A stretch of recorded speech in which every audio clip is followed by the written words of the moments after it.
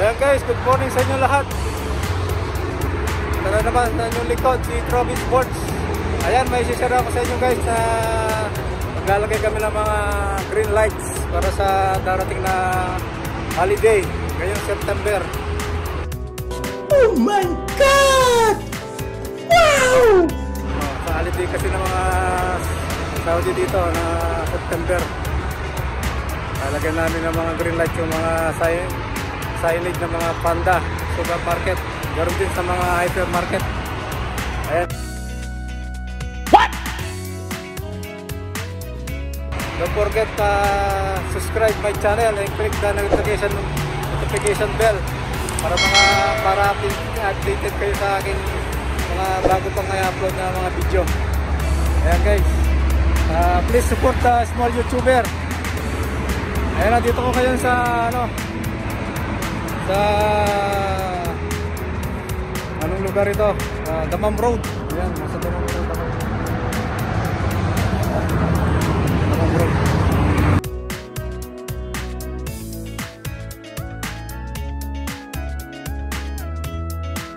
Seriously, what the fuck are you doing? Pakita ko sa inyo guys pa ano, pag may picture na sa gabi. Yung kasama namin yung nagpipicture eh, si Rafi sa gabi.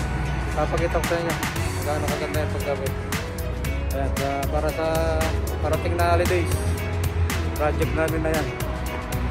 Ah, lagyan lahat ng ilaw yung mga ano, mga tindahan. Ayan, project namin. Not. sa ano sa lahat ng pando dito sa Riyadh. Sige guys, salamat. Ayan guys, so nakabukas na yung ilaw kaso ano eh, hindi makita yung liwanag niya sa araw. Ito gabi. Ang ganda talaga sa gabi.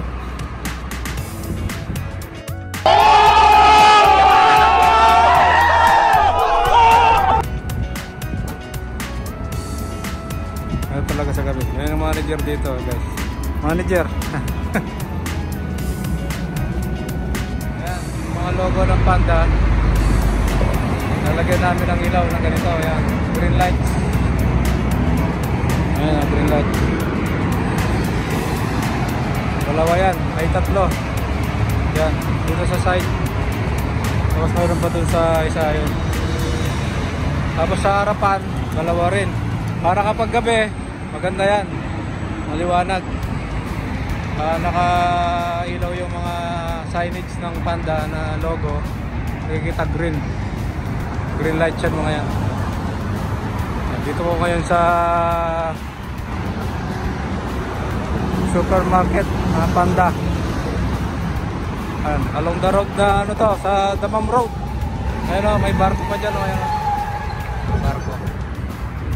Ayan yung barko dyan mo. Ayan o, Titanic. Restaurant dyan. Dinesign lang nila na office. Barko yung ano dyan, building. Ayan o. Ayan, Damam Road, Damam Road. Ano to? Panda 143 yata to. Ano to? Ayan.